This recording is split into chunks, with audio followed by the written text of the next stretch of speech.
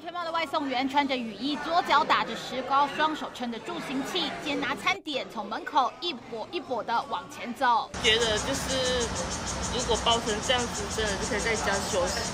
外送员五只脚送餐的画面，让袁婆表示，昨天一阵阵大雨还跑外送，觉得很猛。你怎么知道他在太平？我有遇过，也是外送中遇到的。很佩服他，可能他需要赚钱，他就也是这样很努力的出来跑外送。其他外送员也直呼佩服，还有人实际遇过他。网友也回应，曾经跟他聊过，好像是从楼上摔下来，伤到胫骨，实在是太拼。你会不会给他小费？是怎样给的吧？一定要给哦。